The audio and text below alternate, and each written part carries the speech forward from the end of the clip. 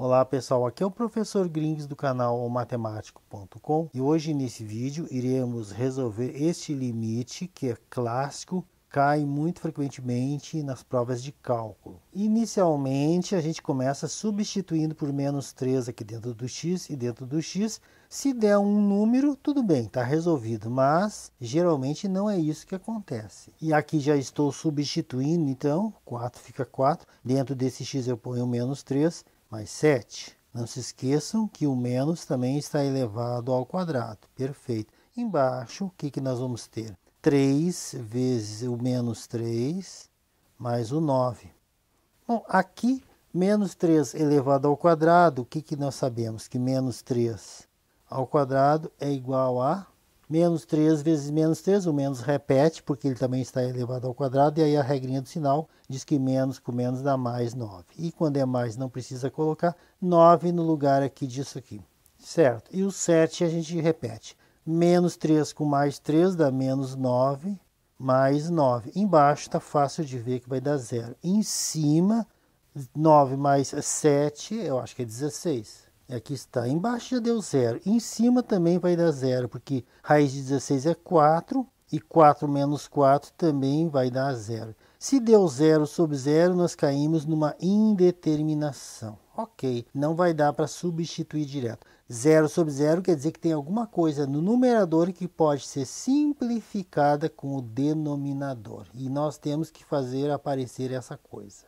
Bom, quando ocorre algo que tem raiz quadrada, assim, somando ou subtraindo, nós podemos já pensar em produtos notáveis. A menos B, que seria essa parcela aqui, multiplicado pela mesma parcela A mais B. E aí nós podemos ter o quadrado primeiro menos o quadrado segundo, lembrando que o segundo ao quadrado elimina-se a raiz.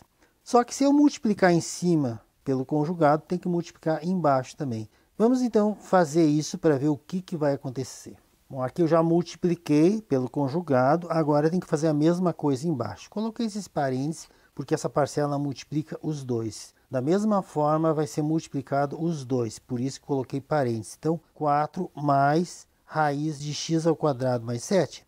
Fazendo isso, eu não alterei o que eu tenho. Quando você multiplica em cima e embaixo pela mesma coisa, não altera o que tem. Ok, podemos aplicar agora produtos notáveis. Quadrado primeiro menos o quadrado do segundo. E aí está como ficou então, o quadrado do primeiro menos o quadrado do segundo que eu vou poder cortar. A parcela de baixo não tem que fazer, só vou reproduzi-la. Então, 3 vezes x menos mais 9, primeira parcela, que multiplica, e aí não tenho que fazer, 4 mais raiz de x elevado ao quadrado mais o 7. Ok, e fecha aqui o parênteses. Esse risquinho vem até aqui. Bom, eu posso cortar este com este e elimina-se a raiz. Já é um avanço. Então, o 16 já elevando ao quadrado. Este sinal de menos vai ficar na frente dos dois, tá? Corta-se a raiz, mas o menos atinge ambos.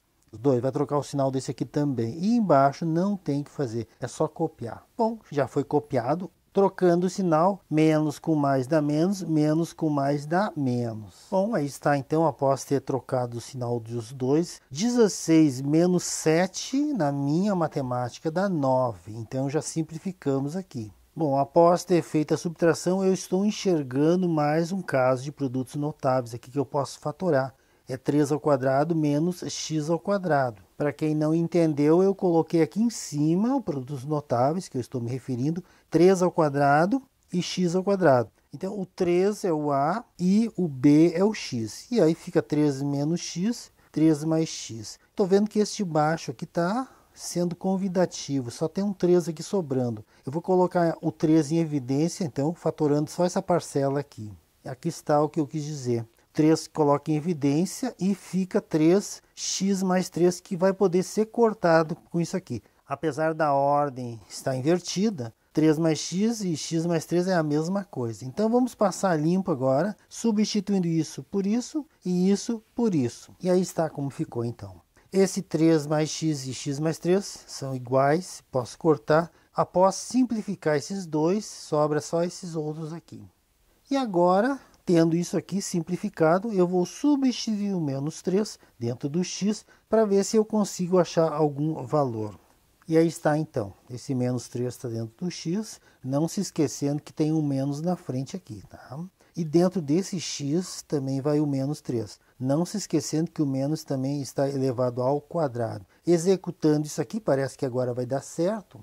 Então vamos resolver junto isso aqui, o 3 já copiei. Aqui na frente eu sempre imagino tem umzinho invisível. Para efeito de multiplicação, menos com menos dá mais. Perfeito. Daí fica explicado por que mais, por causa da multiplicação. Já aqui embaixo, o 3 continua sendo 3. 4 mais esta raiz persegue. Menos 3 ao quadrado, menos 3 elevado ao quadrado é menos 3, não custa relembrar, menos 3 também repete o sinal da mais 9. Não precisa colocar o mais, fica só 9, mais o 7. 9 mais 7, já sabemos que dá 16. Assim como 3 mais 3 é 6. Raiz de 16 é 4, então fica 6 em cima. O 3, abre-se parênteses, 4 mais o 4. 4 mais 4 é 8. 6 sobre 3 vezes 8. Eu até posso dar uma simplificada irresistível por 2 aqui. Divide por 2 em cima, divide por 2 embaixo. 6 dividido por 2, 3 e 2, 8 dividido por 2 é 4. Perfeito. Bom, aí ficamos assim. É, o 3 em cima, 3 também embaixo e 4. Mas o 3 simplifica com 3, 1 sobre 4. Esta então é a resposta final. Aí está então, pessoal. O resultado daquele limite é 1 sobre 4. Antes de encerrar, só gostaria de relembrar que no site omatemático.com você encontra gratuitamente cursos de limite, assim como derivadas, integrais e outras coisas. Confira então. E posto isto, eu aguardo vocês no próximo vídeo.